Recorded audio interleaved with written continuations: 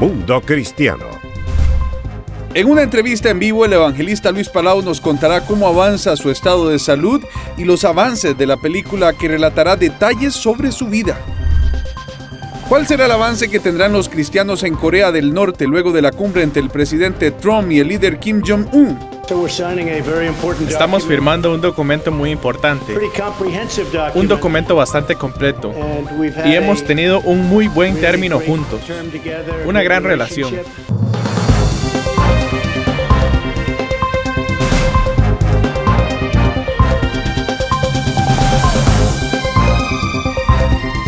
Soy Beatriz Rojas, bienvenidos a Mundo Cristiano. Les saludo Horacio González y le damos la más cordial bienvenida a 30 minutos de información del mundo cristiano. Empezamos con las informaciones. En una histórica decisión, el Congreso de Argentina aprueba el aborto con 129 votos a favor y 125 en contra. ¿Qué sigue para los grupos pro vida tras esta decisión? Se los mostramos en la siguiente nota. Fueron afirmativos. Luego de más de 20 horas de debate, la Cámara Baja de Argentina decidió darle sí al aborto hasta la semana 14 de gestación. Esta iniciativa ahora deberá pasar al Senado para su tratamiento antes de convertirse en ley. Cuando se dio a conocer la controvertida decisión, miles de personas que aguardaban en las afueras del Congreso celebraban con fervor. ¿Qué opinan los grupos pro vida sobre esta decisión? Un poco de, de indignación porque a lo largo y a lo ancho del país, Argentina se viene manifestando millones de personas que conforman este país, se vienen manifestando a favor de las dos vidas, tanto de la mujer como de la persona en gestación. Los legisladores a favor de la práctica abortiva argumentaron que evitarán la muerte de miles de mujeres humildes expuestas a complicaciones por abortos clandestinos. Los que se manifestaron en contra alegaron su formación cristiana y advirtieron que el aborto legal va en contra del ordenamiento jurídico argentino que garantiza la vida desde el momento de la concepción, trabajo por el cual ahora velarán los grupos pro vida. Nuestra lucha va a seguir siempre, con ley o sin ley, porque amamos a las mujeres y porque amamos a las personas en gestación, porque creemos que un país justo no se construye financiado con sangre inocente. Durante el debate de este proyecto, el pueblo argentino estuvo dividido entre los que apoyaban o se oponían al aborto. Tanto la Iglesia Evangélica como otras organizaciones pro vida organizaron varias marchas que marcaron la historia de Argentina. Las movilizaciones bajo el lema Salvemos las dos vidas tuvieron un alto número de participación, no solo en Buenos Aires, sino en toda Argentina.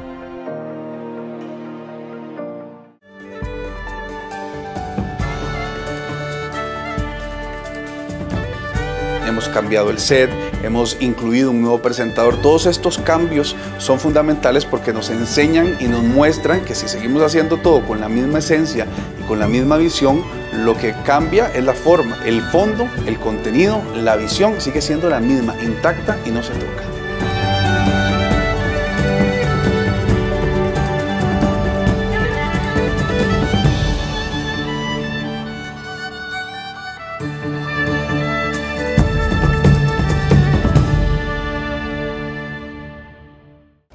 Así ocurrió el histórico momento. Kim Jong-un y Trump estrechándose sus manos apenas meses después de insultarse y amenazar con desatar una guerra nuclear. En este encuentro, Trump se comprometió a brindar garantías de seguridad a la República Popular Democrática de Corea, y el líder norcoreano reafirmó su compromiso firme e inquebrantable de completar la desnuclearización de la península coreana. Estamos firmando un documento muy importante, un documento bastante completo, y hemos tenido un muy buen término juntos, una gran relación. Hoy tuvimos una reunión histórica y decidimos dejar atrás el pasado y estamos a punto de firmar un acuerdo histórico. El mundo verá un cambio importante. Me gustaría expresar mi gratitud al presidente Trump para que esta reunión sea posible. Los dos líderes firmaron el acuerdo para construir un régimen de paz duradero y estable. También proporcionar garantías de seguridad de Estados Unidos para Corea del Norte. Además, según la transcripción de la conferencia de prensa de Trump, hubo una victoria para el cristianismo. Durante su reunión con Kim Jong-un, el mandatario estadounidense abordó la difícil situación de los cristianos perseguidos en Corea del Norte. Con esto, Trump confirma su compromiso por la búsqueda de libertad religiosa para los cristianos en Corea del Norte. En el mes de mayo también lo hizo al impulsar la liberación de tres cristianos estadounidenses que se encontraban encarcelados en un campo de trabajo. Pero, ¿por qué Trump estaría luchando por esto? Según la lista mundial de la persecución del Ministerio Puertas Abiertas, Corea del Norte es el país más peligroso del mundo para ser cristiano. El cristianismo es visto como una gran amenaza para Kim Jong-un, quien es considerado como un dios en Corea del Norte. Los cristianos deben mantener su fe en secreto y si se descubre son enviados a campos de trabajo forzosos donde podrían morir por malnutrición o tortura. Entre 150.000 y 120.000 cristianos ya han sido confinados en campos de prisioneros, donde las condiciones siguen siendo deplorables conforme a puertas abiertas. Por eso los expertos en persecución religiosa creen que esta negociación de paz sea el comienzo para una Corea del Norte más tolerante al cristianismo informó para Mundo Cristiano Stephanie Sánchez.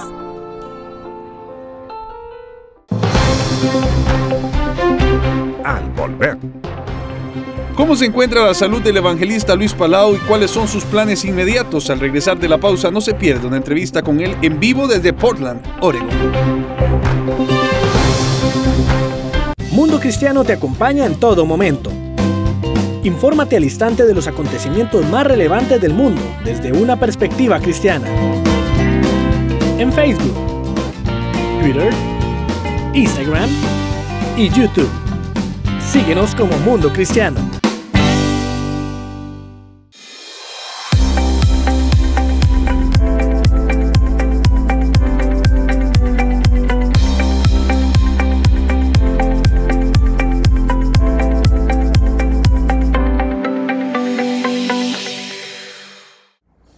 Gracias por permanecer en sintonía de Mundo Cristiano. De inmediato hacemos un repaso por los hechos que son noticia para la iglesia cristiana. El evangelista Franklin Graham hizo un llamado al gobierno de Corea del Norte donde les indicó que los cristianos no son sus enemigos, refiriéndose a la persecución religiosa que se vive en este país comunista. Graham realizó cuatro viajes humanitarios mientras dirigía Samaritan Spurs en una variedad de campañas para ayudar al pueblo norcoreano.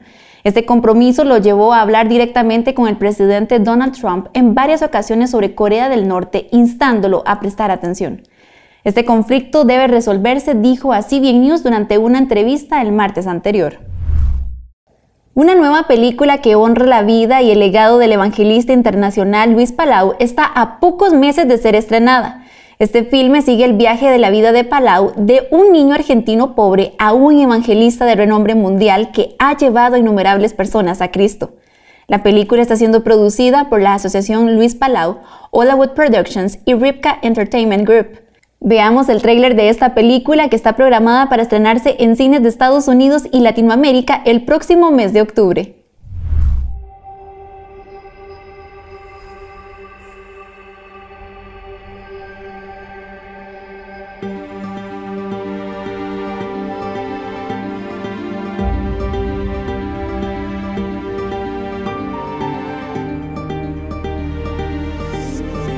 ¿Cuánto queda? No queda nada. Que lo siento mucho.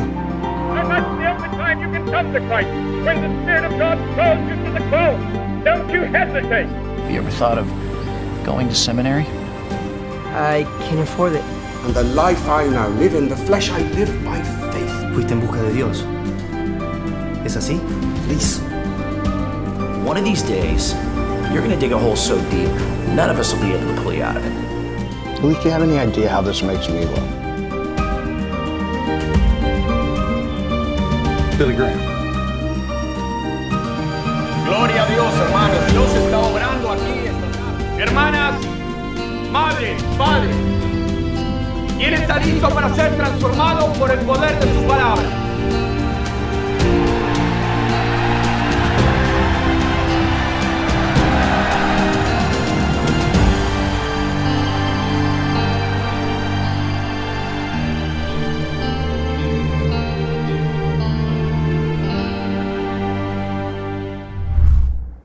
Qué película tan inspiradora, definitivamente hay que verla. Volvemos con Horacio, quien tiene más información sobre este mismo tema.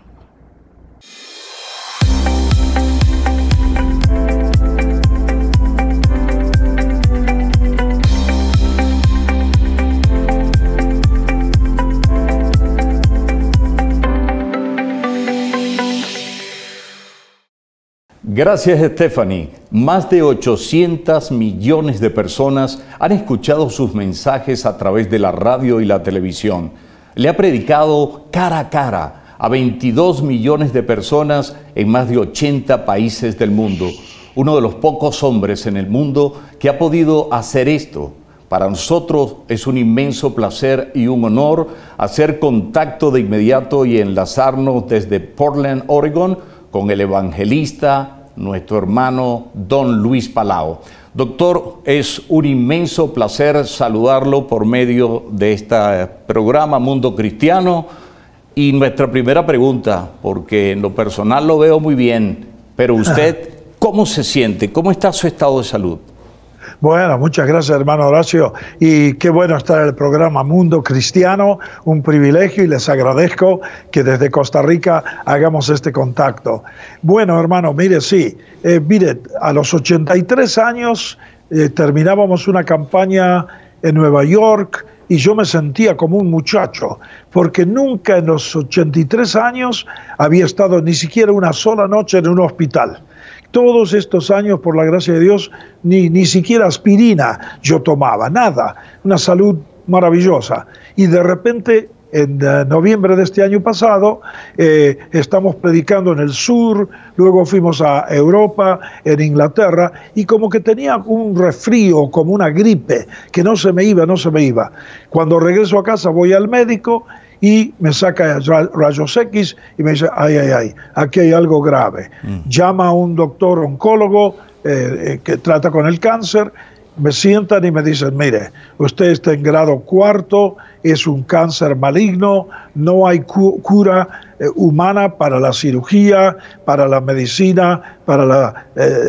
los médicos no tenemos solución a este asunto. Yo dije, bueno, si Dios quiere, Él me puede sanar. Y ellos dijeron, sí, milagros ocurren, aunque los doctores no son creyentes, estoy tratando de ganarlos para Cristo. Esta noche voy a cenar uno de ellos, con nuestras dos esposas, a ver si lo gano para Cristo. Pero de todos modos, hermano, eh, eh, físicamente el impacto es fuerte. Espiritualmente me he fortalecido en el Señor. Este, humanamente la mente está clara, gracias a Dios, no ha afectado mi mente, eh, eh, estamos orando como nunca, he tenido que frenar los viajes y quedarme más en casa, que ha sido una gran bendición. Pasarme este, más tiempo con mi esposa Patricia y con mis hijos ha sido una cosa preciosa. Han pasado desde diciembre hasta ahora varios meses y el impacto de la quimioterapia y de la eh, eh, unos tratamientos innovativos que ellos están creando, eh, lo siento en mi cuerpo, pero espiritualmente estoy muy gozoso, hermano. Bueno, nos gozamos por esa noticia y es nuestro deseo y sabemos que el Señor tiene más planes con ustedes para que siga siendo de bendición para tantas personas. Para esas personas que en este momento lo están viendo, doctor, que tal vez estén viviendo una situación similar, que están enfrentando la noticia del cáncer, ¿cuál es su mensaje? ¿Cuál es la actitud que lo ha ayudado a usted y que pueda transmitir y compartirle a ellos? Con gusto, hermano Horacio. Mire, hay un versículo en 2 Samuel capítulo 22 que dice así, en cuanto a Dios, su camino es perfecto. La palabra de Jehová, la palabra del Señor es cristalina, es perfecta. Y hermano, esa es la clave que me ha dado paz en medio, el reconocer que a lo mejor en pocas semanas o máximo unos pocos meses el Señor me lleva para el cielo. Para todos los que estén sufriendo con cáncer o alguna enfermedad similar. Si lo tienen a Cristo en el corazón, sabemos que por la gracia de Dios, este, el momento en que uno ausente del cuerpo, presente con el Señor. El momento que el corazón deje de latir aquí en la tierra, entramos directamente a la presencia del Señor Jesucristo. Yo desde niño, de 10 años de edad, porque mi padre murió cuando era jovencito, tenía solo 34 años él, y yo era el mayor, tengo cinco hermanitas, la menor todavía ni había nacido, mi padre murió totalmente descansando en Jesús. Los misioneros nos enseñaron muy bien y mi padre eh, tenía paz con el Señor. Cantó una canción, dio palmas con las manos, agotado después de cantar la canción sobre el cielo, apuntó al cielo con su dedo y dijo, me voy a estar con Cristo, lo cual es mucho mejor. Y en pocos momentos mi papá se fue a estar con el Señor. Así que para mí la realidad del cielo ha existido desde que era un chico de 10 años de edad. Ahora que soy ya un varón de mayor edad, de repente me toca el turno y gracias a Dios estoy listo, estoy preparado. La muerte sigue siendo un enemigo de la raza humana. La Biblia dice que la muerte es el último enemigo, pero en Cristo los que somos de Él y que entendemos lo que la Biblia enseña, estamos en paz con el Señor. La palabra de Dios nos dice como el cielo se llama el paraíso, es perfecto, no habrá más lágrimas, ni llanto, ni dolor, Él enjugará toda lágrima de los ojos, vamos a ver al Señor cara a cara, dice la Biblia, sus siervos verán su rostro, qué hermoso hermano. Así que uno al recordar estas promesas y enseñanzas bíblicas, uno tiene paz con el Señor. Señor. Y aunque yo eh, digo, pueden ser seis meses, cinco meses, uno no sabe, pero el Señor nos lleva a su presencia y uno sabe que estaremos con Cristo para siempre. Y la Biblia dice en 1 Tesalonicenses eh, que nos confortemos unos a otros con estas palabras. Nos, damos eh, esperanza, confianza, podemos cantar, y lo único triste, hermano, es dejar a su señor atrás y dejar a sus hijos. Eso hace llorar, pero no por temor de la muerte, sino simplemente que sería lindo que nos fuéramos todos en un solo avión al cielo, ¿no es cierto? Bueno, sus palabras una vez más nos contagian, nos motivan y ese hermoso mensaje lo compartimos con todos nuestra audiencia.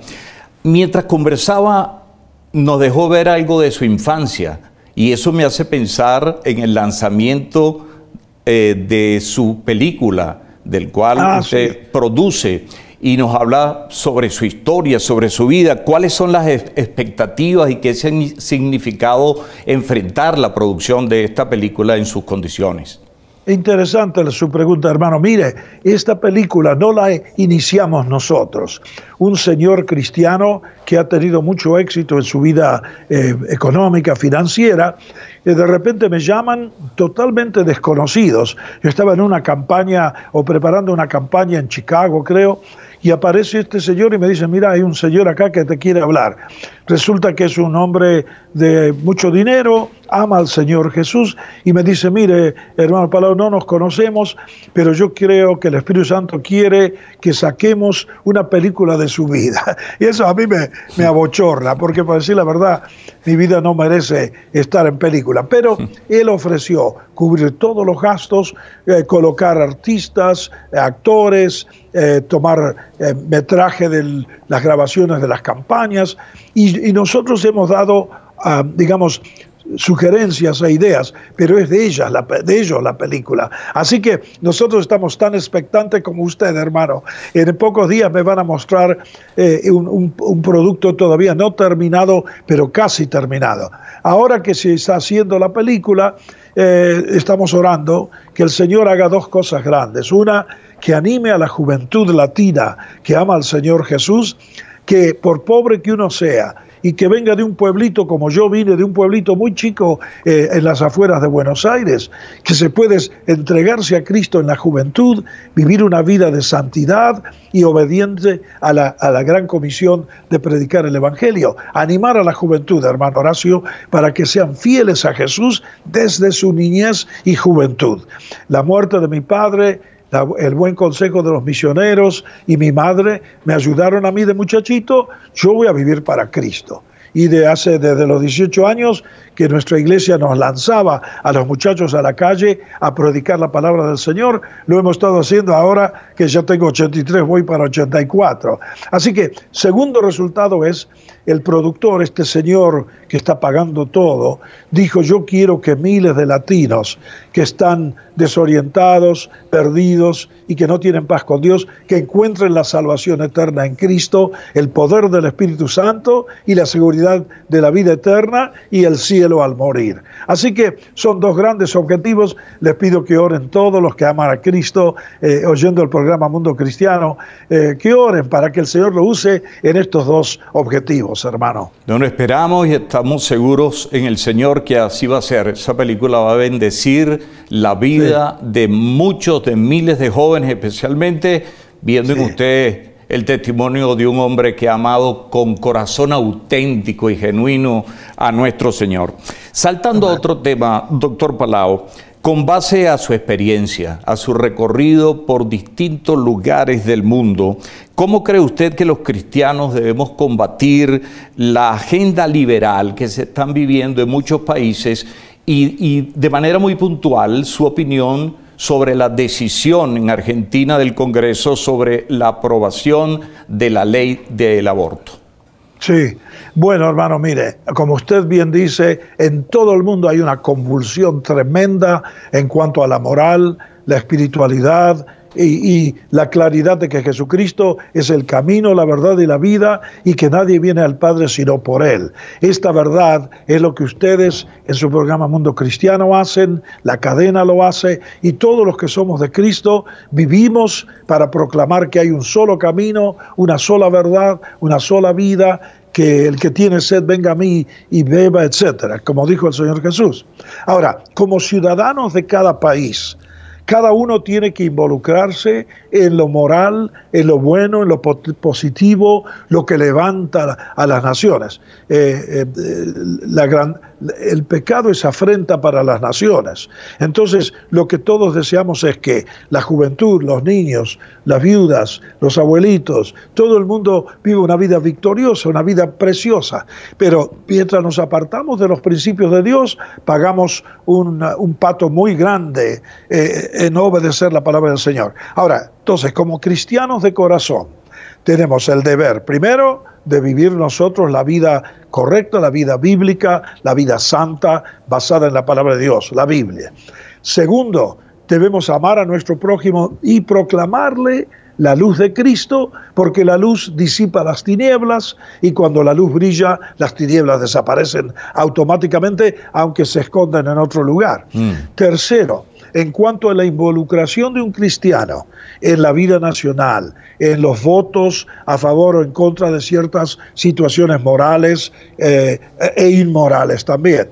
El cristiano debe involucrarse en oración, en dar su opinión, pero no pretender hablar por otros, porque eh, cada uno tiene que hablar como ciudadano de su país, eh, no como que yo soy cristiano y ustedes son paganos, mm. no, sino somos una ciudad, una, nación, como en Argentina, como en Costa Rica, donde quiera. Uno ama su país, ama a sus vecinos, ama a las familias. Entonces, uno procura convencer a la gente bíblicamente, con argumentos sólidos, con humildad, con respeto, con cariño, con fuerza, pero no con agresividad. ¿eh? Eh, eh, tratar de convencerlos el bien y el mal que ciertas decisiones provocan.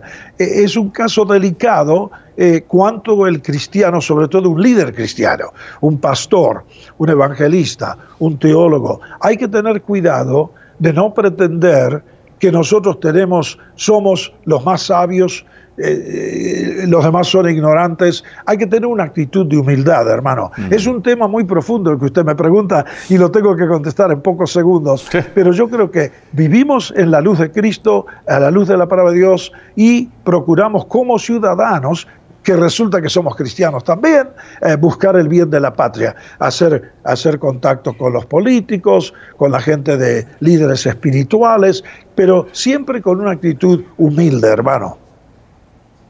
Doctor, ya para finalizar, un mensaje para sus coterráneos, para los amigos argentinos que en este momento están en sintonía de Mundo Cristiano, ya para finalizar.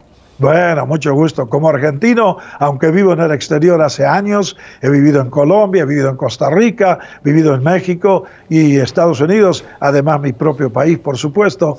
Un saludo grande a los argentinos que están escuchando y que no se desalienten. Dijo Jesús, ¿se acuerdan? En Juan 14, si no me equivoco, quizás 16, dice, en el mundo tendréis aflicción, mas confiad, yo he vencido al mundo. hay guerras, hay violencia, hay crímenes, hay violaciones y también decisiones que nosotros consideramos muy equivocadas en el mundo político nacional. Pero no nos desalentemos. Dios sigue en el trono, Él es Dios de Señor de señores y eh, eh, Él no ha, renunciado a, a, su liderazgo de la, de la raza humana. Hermanos argentinos y latinos de todo el mundo, ánimo. Cristo vive, Él es poderoso, Él vino para rescatarnos y lo lindo es esto, me permite hermano que lo diga, eh, cuando lleguemos al cielo no hay más pecado, no hay más lágrimas, no hay más clamor, no hay más dolor, no hay más noche, todo va a ser luz y gozo y perfección. Veamos eso, proclamemos las buenas nuevas de salvación constantemente porque al fin lo que más vale es dónde vamos a pasar la eternidad. Y aquí en la tierra, con el poder del Espíritu Santo que mora en nuestro corazón, podemos vivir una vida de victoria, una vida pura, una vida no perfecta, lamentablemente, pero sinceramente caminando en la luz. Que el Señor bendiga no solo a los argentinos, sino también a todos los de habla hispana en todo el mundo. Y que Dios bendiga este hermoso programa Mundo Cristiano. Hermano Horacio, gracias por este privilegio. Doctor Palau, el privilegio y la bendición ha sido para nosotros de todo el equipo de Mundo Cristiano un caluroso, afectuoso abrazo. Que Dios extienda los años de su vida, que lo continúe bendiciendo en lo personal estoy emocionado y me contagió una vez más con esa vitalidad y esa energía que Dios ha puesto en su corazón. Muchísimas gracias. Amén, hermano. Un, un, abrazo grande, un abrazo grande para todo el equipo allí en Costa Rica. Gracias, muchísimas gracias.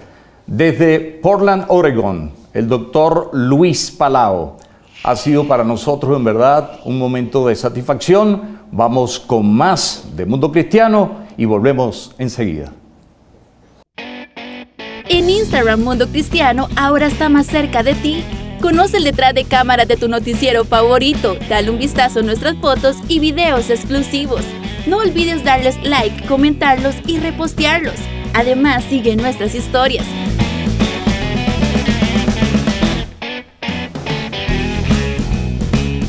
Búscanos como arroba Mundo Cristiano TV. En Instagram Mundo Cristiano también te cuenta el resto de la historia.